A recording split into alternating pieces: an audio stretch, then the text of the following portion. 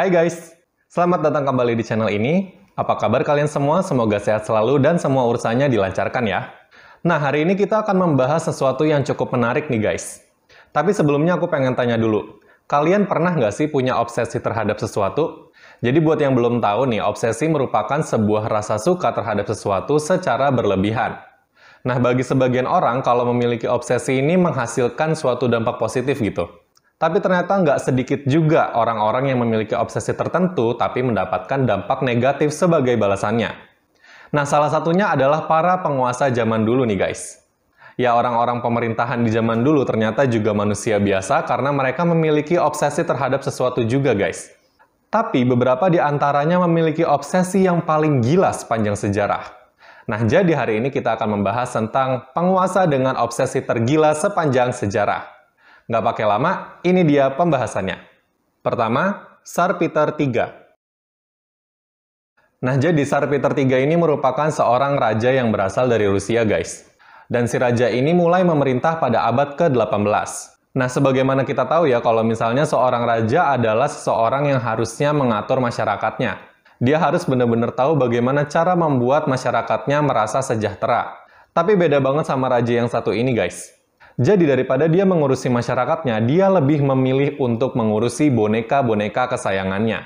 Nah ini dia obsesi tergila yang dimiliki oleh si Raja Sarpiter. Jadi boneka yang dimiliki sama si Raja ini berbentuk tentara guys. Mungkin ya si Raja ini emang suka banget sama tentara, terus habis itu dia mereplikasikannya dalam boneka. Makanya boneka-boneka tentaranya ini bener-bener dia sayangin gitu. Sebenarnya kalau misalnya emang itu alasannya, bagus sih ya dia jadi cinta terhadap pasukannya gitu. Berarti dia nggak mau pasukannya terlalu apa ya mengalami luka yang parah pada saat peperangan dan yang lainnya. Tapi itu sebenarnya cuma asumsi aku aja sih kalau dari sejarahnya sebenarnya nggak ada yang bilang atau ada yang tahu gitu alasannya kenapa dia suka banget sama boneka tentara miliknya. Nah bahkan saking suka sama bonekanya nih, dia tuh sampai nggak peduli sama istrinya sendiri, guys. Ya gimana mau peduli sama masyarakat ya istrinya sendiri aja tuh nggak dipeduliin gitu sama dia. Dan dia ini memiliki sifat semacam protektif gitu sama boneka tentaranya ini. Sampai-sampai boneka tentaranya ini nggak boleh sama sekali dipegang oleh orang lain. Jadi pokoknya kalau ada orang yang mendekati bonekanya nih ya, dia bakal langsung ngomel terus habis itu bakal langsung dihukum guys. Dan hukumannya juga nggak main-main. Hukumannya juga bakal dikasih hukuman yang berat gitu. Bahkan hukumannya bisa sampai di penjara, guys.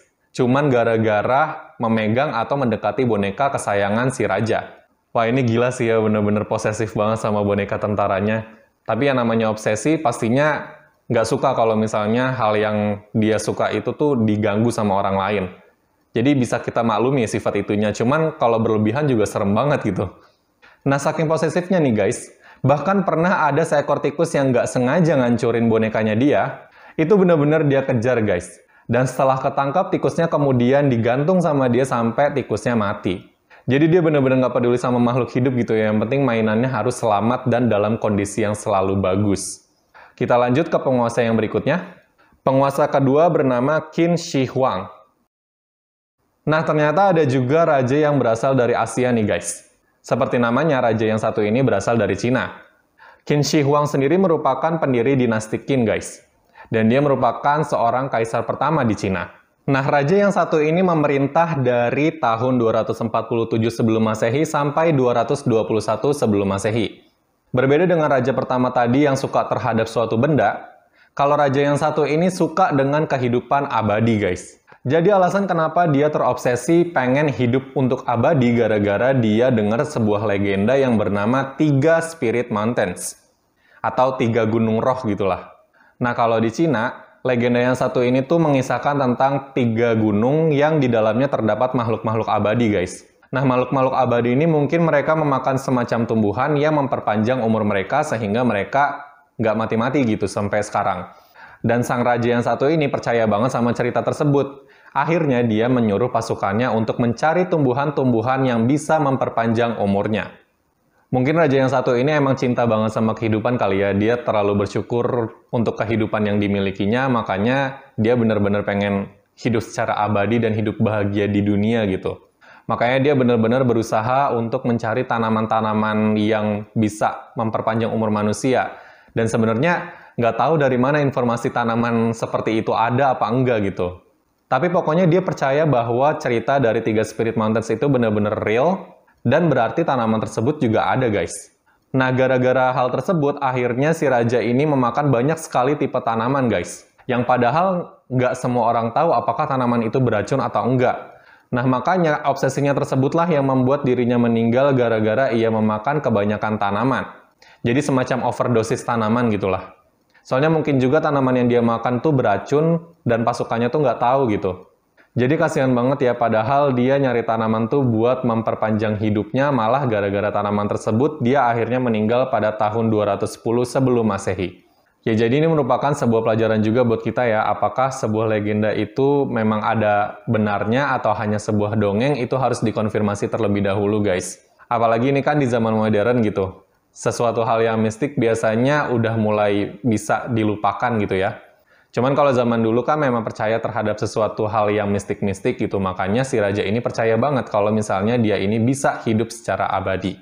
Oke, kita lanjut ke yang berikutnya. Penguasa ketiga adalah Ratu Juana I. Jadi Ratu Juana ini merupakan seorang ratu di Castilla, guys.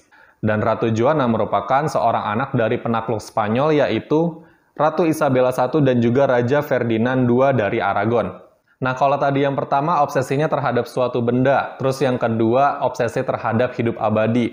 Nah, yang satu ini obsesinya terhadap suaminya sendiri, guys. Jadi dia benar-benar bucin parah gitu sama suaminya. Nah, menurut sejarah, si Ratu Juana ini menikah dengan seorang pangeran yang bernama Philip, yang merupakan pangeran dari Austria. Tapi sayangnya, pangeran Philip ini memiliki kebiasaan yang membuat para wanita marah gitu. Pangeran Philip suka banget selingkuh sama wanita lain. Nah, gara-gara kebiasaannya tersebut, akhirnya Ratu Juana lama-lama menjadi ODGJ guys, atau orang dalam gangguan jiwa. Nah, hal itu juga yang membuat Ratu Juana memiliki obsesi terhadap suaminya sendiri. Jadi serem juga ya, bucin sampai kehilangan akal sehat gitu. nah, saking dia terobsesi sama suaminya sendiri nih guys, pada saat Pangeran Philip meninggal dunia pada tahun 1506, penyakit mentalnya ini menjadi makin parah guys. Ratu Juana bahkan nggak mau jauh dari jasad suaminya. Jadi tuh dia kalau misalnya lagi tidur, pengennya di sebelah jasad suaminya. Terus habis itu kalau ke mana-mana, si jasad suaminya ini bener-bener dibawa guys. Entah jalan-jalan ke taman kah, atau lagi makan kah. Kayak misal lagi makan malam kerajaan, terus tiba-tiba si Ratu Juana ini ngebawa suaminya itu, padahal udah berbentuk jasad gitu kan. Gimana kalau misalnya kalian yang berada di posisi itu? Kalian bakal serem nggak? Hal ini pasti menyeramkan banget bagi mereka yang takut sama horor. Ntar kalau misalnya tiba-tiba Raja Philipnya bangun gitu kan, pasti bakal pada panik. Nah, tapi anggota kerajaan semuanya tuh kayak maklumin si Ratu Juana ini. Mungkin karena memang mereka tahu bahwa Ratu Juana ini memiliki penyakit mental gitu ya. Akhirnya ya dibiarin aja. Bahkan Ratu Juananya ini sampai nyium-nyiumin jasad suaminya tersebut. Dan pada saat suatu peristiwa nih, sampai yang mengharuskan Ratu Juana masuk penjara, jasad suaminya juga masih dibawa sama dia. Nah ini pelajaran bagi kita juga nih. Kalau misalnya bucin, jangan terlalu bucin guys. Bahaya juga ya sampai kehilangan akal sehat. Semoga bagi kalian para buciners masih bisa mempertahankan akal sehatnya. Kita lanjut ke yang berikutnya. Penguasa terempat bernama Caligula. Nah, Caligula merupakan seorang penguasa yang berasal dari Romawi, guys. Dia ini terkenal sebagai raja yang nggak bener gitulah. Nah, ada alasan kenapa dia disebut sebagai raja yang nggak benar, yaitu karena obsesinya. Dia sendiri masa pemerintahannya adalah pada tahun 37 Masehi sampai 41 Masehi, guys. Nah, tadi kan aku udah bilang ya, dia ini merupakan seorang raja yang kurang baik karena obsesinya sendiri. Nah, apa sih obsesinya? Jadi obsesinya adalah dia sangat sayang terhadap kuda peliharaannya, guys. Ya, padahal meskipun dia memiliki sifat yang tidak baik sebagai raja, tapi untungnya masih baik ya terhadap kudanya sendiri. Cuman gak baiknya adalah gara-gara kudanya ini dia bahkan sampai melupakan rakyatnya. Padahal kan mungkin aja rakyatnya menderita gitu ya gara-gara suatu masalah, baik itu bencana atau kekurangan apalah. Tapi dia benar-benar nggak peduli, dia hanya peduli dengan kudanya guys. Bahkan istrinya sendiri tuh nggak dipedulin juga sama dia. Yang penting seluruh hidupnya hanya dicurahkan kepada kuda kesayangannya. Nah, saking obsesinya nih, akhirnya si kuda ini dibuatkan sebuah rumah yang cukup mewah, beserta dengan kamar dan juga semua fasilitas yang lengkap, dan bahkan di rumah tersebut dikelilingi oleh para pengawal, guys. Jadi sebenarnya kudanya ini malah diperlakukan sebagai ratu lebih dari istrinya sendiri. Tapi ngapain juga ya kuda sampai dibangunin rumah, padahal kandangnya sendiri aja udah cukup gitu kan. Cuma ya memang namanya suka sama sesuatu, pasti pengen memperlakukan sesuatu itu dengan baik gitu. Dan hal itulah yang dilakukan raja yang satu ini. Dia menganggap bahwa kudanya ini adalah semacam harta bagi dirinya, makanya dia merawat kuda tersebut dengan baik. Bahkan pada saat makan malam kerajaan, biasanya kudanya ini juga diajak guys. Jadi kalau sebelumnya makan bersama dengan jasad, kalau yang satu ini makan dengan kuda, guys. Menu kudanya juga termasuk terbilang sangat mewah gitu. Kudanya dikasih makan gandum dengan serpihan emas. Dan minumnya juga bukan minum air putih, tapi dikasih minum anggur. Itu nggak tahu tuh kudanya bakal mabuk apa enggak ya. tapi dikasih makanan semewah itu kan menunjukkan bahwa si raja ini terobsesi parah sama kuda peliharaannya sendiri. Bahkan mungkin si istrinya sendiri atau anggota kerajaan yang lain nggak dikasih makan emas gitu. Tapi kudanya dikasih. Padahal waktu itu juga kayaknya ilmu pengetahuan kan belum terlalu maju ya. Jadinya nggak tahu apakah si kuda ini bakalan masih sehat atau enggak tuh. Minum anggur sama makan emas itu.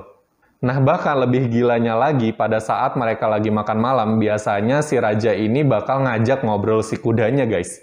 Seakan-akan bahwa si kudanya ini mengerti dengan apa yang dia katakan. Tapi kadang-kadang hewan peliharaan itu cukup pintar gitu ya, bisa mengerti majikannya sendiri, bahkan bisa menangis bareng majikannya juga. Mungkin karena itu juga akhirnya si raja ini sangat suka dan sayang terhadap kuda peliharaannya. Kita lanjut ke penguasa yang terakhir. Penguasa terakhir bernama Louis XIV. Nah, ini merupakan penguasa dengan obsesi paling aneh, guys. Jadi sebelum aku kasih tahu obsesinya, aku jelasin dulu sejarahnya dia. Raja Louis merupakan seorang raja Perancis dan masa pemerintahannya pada tahun 1643 sampai 1715. Jadi sebenarnya si raja ini memerintah cukup lama, karena si raja ini memiliki sebuah kebaikan hati kepada masyarakatnya, dan masyarakatnya ini sangat hormat kepada dia, makanya dia terus-menerus dipilih sebagai raja gitu. Akhirnya ya ada juga raja baik yang masuk ke sini. Tapi nih, gara-gara kebaikannya tersebutlah makanya sebuah obsesi yang aneh datang kepada dirinya. Sang raja ini tuh benar-benar pengen membuat tubuhnya sehat demi melayani masyarakatnya.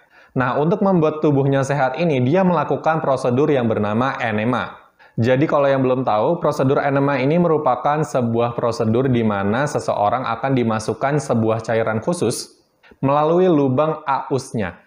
Nah, kalau zaman sekarang, prosedur yang satu ini dilakukan oleh dokter untuk membersihkan usus besar sebelum dilakukan sebuah operasi. Sebenarnya pada zaman dahulu pun tujuannya sama guys. Si raja ini pengen tubuhnya ini bersih dari segala bakteri ataupun dari segala virus, makanya dia melakukan prosedur tersebut. Tapi gara-gara itu, dia jadi terobsesi sama enema ini. Bahkan menurut catatan sejarah, dia sudah melakukan enema sebanyak ribuan kali. Gila ya, selama kehidupannya dia melakukan enema terus gitu. Kebayang nggak sih kalau misalnya dia melakukan enema ribuan kali, berarti kan dia sehari mungkin bisa sampai puluhan gitu. Kalau aku sih nggak kebayang ini meskipun dia memang tujuannya baik ya biar membuat dirinya sehat, tapi ya nggak gitu juga kali ya. ya tapi ya namanya obsesi memang susah untuk dihilangkan sih ya guys. Dan untungnya si Raja melakukan obsesi ini memang untuk tujuan yang baik itu. Nah bahkan saking sukanya melakukan enema, si Raja ini juga menambahkan semacam ramuan mawar di dalam cairan yang dimasukkan ke dalam ausnya tersebut. Karena dia percaya bahwa ramuan mawar ini memiliki khasiat yang cukup sehat, sehingga akan membuat tubuh bagian dalamnya ini sehat juga. Nah, jadi itu dia tadi penguasa dengan obsesi tergila sepanjang sejarah. Menurut kalian mana sih yang paling gila? Komen di bawah ya. Kalau misalnya kalian menemukan sebuah artikel dengan penguasa yang paling gila lebih daripada yang udah aku sebutkan, kasih aku linknya, aku juga pengen tahu soalnya. Oke, itu dia video kita hari ini. Kalau kalian suka sama videonya, jangan lupa untuk klik like, comment, share, dan juga subscribe supaya akun ini berkembang dan pastinya kalian tidak tertinggal video menarik dari aku yang lainnya. Sampai jumpa lagi di video selanjutnya.